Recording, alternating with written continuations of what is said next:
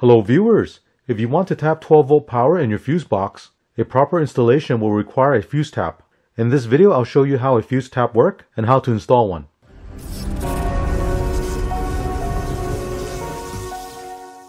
Now fuse taps do come in different types, and here are the four most common ones. At the very top this is an ATC or ATO fuse. Next one down is a mini fuse. This one is a micro 2. And this last one here is a low profile mini. So if you're not sure which type of fuse taps you need, go to your fuse box underneath the dash and take a look and see which type of fuse it uses. Here's a closer look at one of these fuse tap. There's a top slot and a bottom slot where you can install a fuse. Now once you have identified which circuit in the fuse box you want to use or tap into, you need to remove that fuse from the fuse box and install it into the bottom slot. Next you'll need to install a second fuse in the top slot and this will power your dash cam.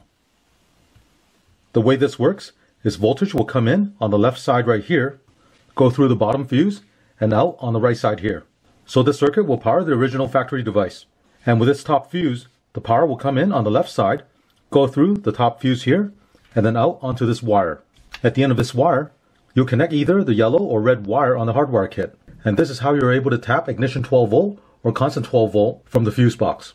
If you want to know where you can pick up these fuse taps, check out the links below First thing you need to do is locate the fuse box in your vehicle and remove the cover.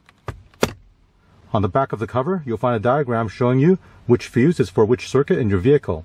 This is a good reference to use to find out which fuse has ignition 12 volt and which fuse has constant 12 volt. Now for this Nissan Pathfinder, there's a 10 amp fuse labeled electrical parts BAT2. This will give me constant 12 volt. Here's a 20 amp fuse labeled power socket ACC1 and this will give me ignition 12 volt. Now obviously every vehicle is designed differently so the fuse label you see here will be different than what you see in your vehicle. And this is why I highly recommend you get a multimeter and test the fuse and find out if it has ignition 12 volt or constant 12 volt. Also make sure you don't tap into any circuits that are critical for the operation of the vehicle. So for example, you don't want to tap into the SRS airbag fuse or the ABS fuse. Looking at the fuse panel, this is a 10 amp fuse that will provide constant 12 volt. At the very top, this is a 20 amp fuse that has ignition 12 volt. Here I have my multimeter and it's set to test DC voltage with a negative probe, you need to connect this to chassis ground. For an easier connection, I connected this alligator clamp to the probe. On the other end, I'll clamp this to a chassis ground. Now I'll probe the 10 amp fuse. As you can see, it's reading 12.57 volt. So this is a circuit with a constant 12 volt. Now I'll probe the 20 amp fuse for ignition 12 volt. Right now it's 0 volt because ignition is off. I'll turn on the ignition.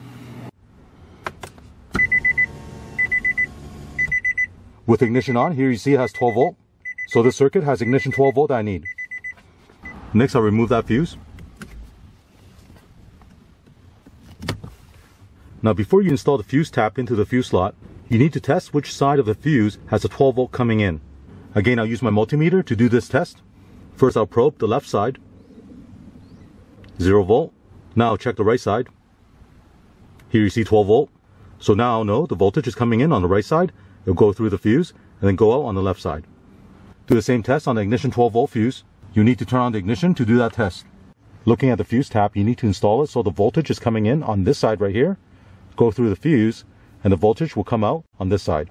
Now having tested the fuse slots earlier, now I know I need to install this fuse tap in this direction with the voltage coming in on this side, go through a fuse, and go out on the other side. With the fuse that I removed from the fuse box, I'll install it into the bottom slot of the fuse tap.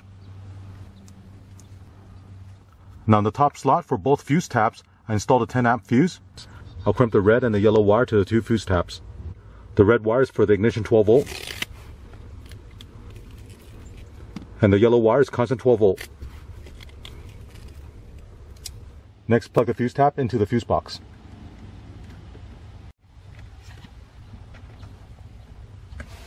And here's what it looks like installed.